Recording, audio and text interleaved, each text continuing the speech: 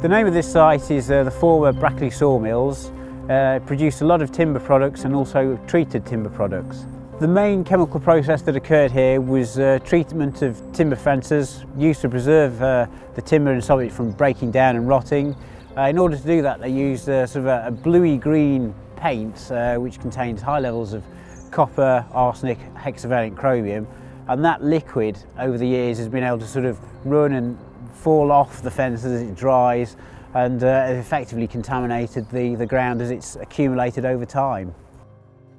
Uh, a lot of the buildings have uh,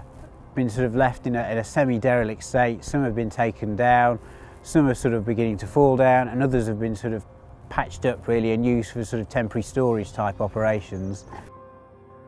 Before we can start to do any remediation on site we have to assess the condition of the ground generally to find out if there's been any other polluting sources which could have arisen from say fly tipping, causing uh, anything really from Japanese knotweed uh, to asbestos materials and also oils really from chemicals that have been uh, placed on the site. The most important thing for us to identify right from the start are all the different sources of waste and managing them to make sure that they're all segregated and that nothing's mixed together because once it's mixed together it's very difficult to unpick it and you've then got material that you can't necessarily treat as, as readily or as easily as you would do normally. The, the main reaction that uh, we looked at was uh, reacting the hexavalent chromium with sodium bisulfate to produce chromium-3, which is a far less toxic metal, uh, making sure that the site was suitable for use, protecting both the, uh, the end user and also the groundwater.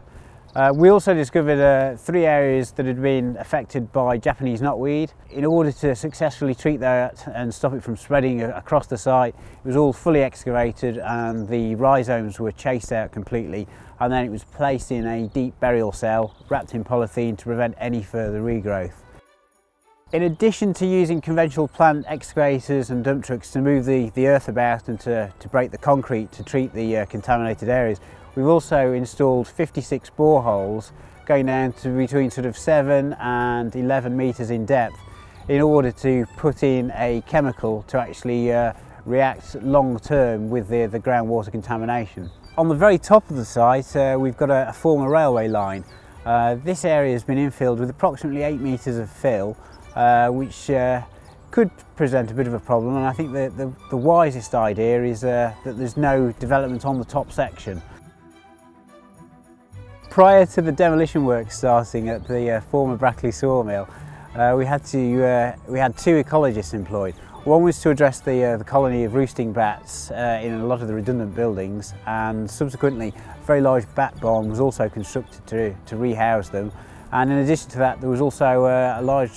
colony of lizards uh, which were also relocated many miles away. A component part to this site was uh, also accommodating the archaeologists um, a very large area of the site uh, was, was identified as having a, a potential historic interest and uh, the archaeologists uh, constructed a very large dig, found a number of sort of round um, uh, infilled areas uh, and on sort of careful excavation they uh, found a very old sort of harvesting tool with a, a metal cutting blade and a bone handle. and as a result they extended the dig to look at further finds to see what the significance was of the area. Uh, we believe it was used for agriculture in uh, preserving grain.